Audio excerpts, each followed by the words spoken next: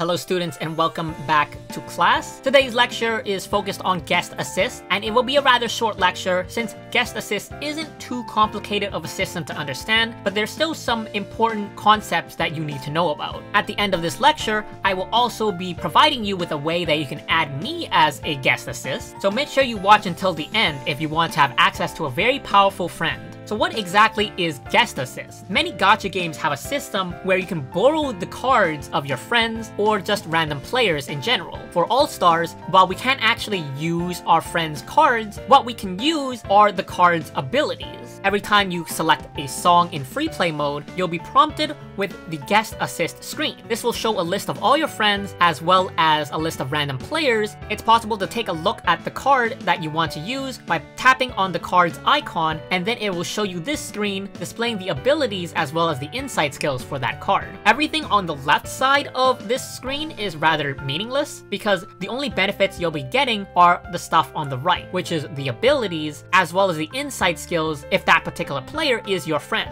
Last thing to mention is that there is a cooldown associated with using a friend once you use a friend, you cannot use the same friend as a guest again until 4 hours have passed. This cooldown doesn't seem to be present for non-friends though, so you could use the same random player multiple times.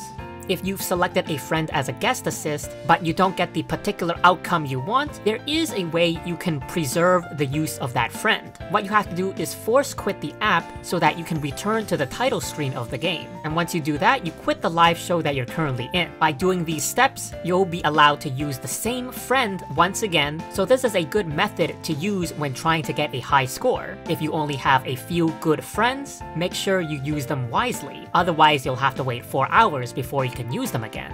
The process of using your friend's card is called skill inheritance. That's not the official name, but that's a commonly used name for gacha games, so I think it's rather appropriate here as well. When you inherit the skills of a guest, the Formation Center card is the one that gets the passive ability and the show ability of the chosen guest card. If the guest card also belongs to your friend, then your Formation Center card will also get the insight skills. So the major benefit of having friends is to also inherit the insight skills for their cards. If your friends have good guest assist cards, and those guest assist cards also have good insight skills, that can make a huge difference when you're trying to get a high score. Through the use of skill inheritance, it is possible for a single card to have up to 4 abilities and 8 insight skills for the duration of the song. The next topic is the skill inheritance properties, and this is something that a lot of players don't know about. When skills are inherited from a guest, the card effect targets are now based on the formation center card and not the guest card. For example, I'm picking this Kotori as a guest assist. This Kotori has a passive ability that increases the base technique by 4.6%, and it applies to cards of the same attribute. If you were to put this Kotori on a show formation, it would mean that all elegant attribute cards would have their base technique increased by 4.6%. However, by using this Kotori as a guest assist, then the passive ability gets inherited to the center position card of the show formation. Here the show formation center is Ai, and Ai is natural attribute. So instead of elegant attribute cards getting the benefit of Kotori's passive, Ai inherited Kotori's passive ability, so now it's based on the properties of Ai, and since Ai is natural attribute, it means that all the natural attribute cards on the show formation get the 4.6% technique boost. Last thing to note is that in the particular song that I chose for this example, Natsuiro Egao de 1-2 Jump,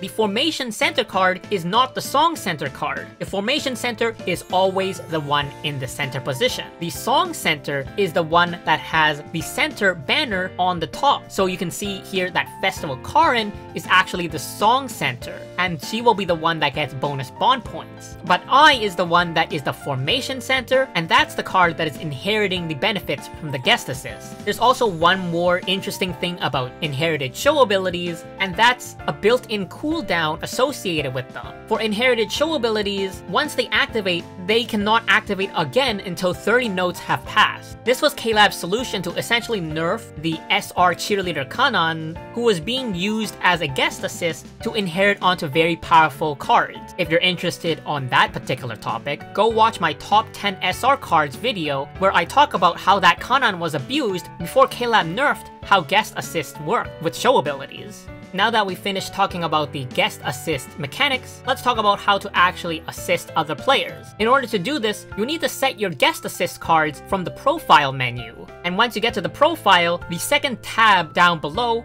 is the guests. And this allows you to pick up to 7 different cards for your guest assist. Even though you might think that it's logical to pick a particular guest assist card that matches the particular attribute, it actually doesn't matter for the reason we discussed earlier about skill inheritance properties. The only thing that matters for a guest assist card are their abilities. It doesn't matter whether or not the card does match the particular attribute you're choosing. Another important thing to mention is that you should not pick the same card 7 times. Even if you only have one good card to use as a guest guest assist, you should pick 7 different cards regardless. And the reason for that is because of how the game shows filters. If you pick the same card 7 times, and then you filter your guests based on certain criteria, then that same card will show up 7 times. And that is something that really makes people mad. If they're trying to look for different guest assists, and they see your guest assist 7 times, well they might just remove you from their friends list because they don't want to deal with that. On this account appropriately named Bad, they chose Ruby as their guest assist card 7 times, so before actually see another person's guest assist, I have to scroll down past 7 instances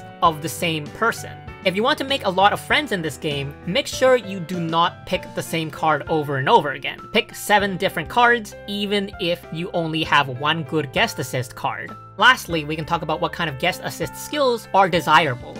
So these are just my personal recommendations of things that people would be looking for, and for the passive ability, as you would expect, it's just boosting the appeal of your cards. Big appeal number means big voltage number, boosting appeal is never a bad thing. For the show abilities, also the same thing. There's plenty of show abilities that increase appeal, but the ones that are the most desirable are the ones that increase base appeal for the entire song. An alternative show ability that people might be looking for are cleansing abilities because they don't have any cards that can do that, in which case that's also a desirable card to put on a guest assist. If the goal is to get as high of a score as possible, then in the worldwide version, these 5 cards are the ones that are the most desirable to use. Miracle Voyage Shizuku, Vegetable Wonderland Rina, Fantastic Clown Ruby, Blue Amar Umi, and Royal Princess Mari. Shizuku and Rina are the best guest assists to use if you're not friends with the particular player. That's because their show ability only applies to the same strategy, but also has a 50% activation rate compared to the 30% activation rate that applies to all cards on the show formation. On the other hand, if you are friends with a particular player, then Festival Mari is the most desirable one to use because you'll have access to 4 insight skills, assuming that the player knows what they're doing and their cards do have good insight skills. This image here just shows my particular Mari that you'll have access to if you do decide to make me your friend. That will conclude today's lecture. For your homework,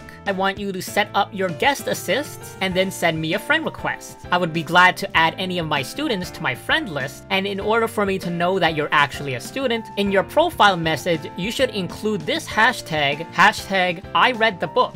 That way I know that you're a student of mine. I would also encourage you to post your player ID in the comments of this video, advertising yourself as a potential friend for other people. In case you need more friends, or you want to help out other players, just tell us what kind of cards you can offer as a guest assist so that hopefully you can get a lot of requests with useful cards as well. Even though there's no inherent benefit to helping other players by offering good guest assists, it will be easier for you to access good guest assists as well. For reference, here are the 7 cards that I think are the most desirable guest assists for people to look for. If you have one of these cards, it would be great if you could set it as your guest assist. If you only have one of these cards, then put it in one of the slots and then fill the other 6 slots with different cards. This is the last time I'm gonna say this, but if you pick the same card 7 times, you're gonna make all your friends mad, and they'll probably remove you from their list. So don't do that. Anyway, it doesn't matter what card cards you do have for guest assist, I'll add you regardless. I just want to help my students. In case they need an additional source of appeal boosting, you can definitely look for my Mari and hopefully she can carry you through one of the higher difficulty songs. But it would be great if you did have one of these guest assists that I could use as well. Also, if your guest assists don't have good insight skills, that's alright. But on the topic of insight skills, that is what we'll be talking about in tomorrow's lecture.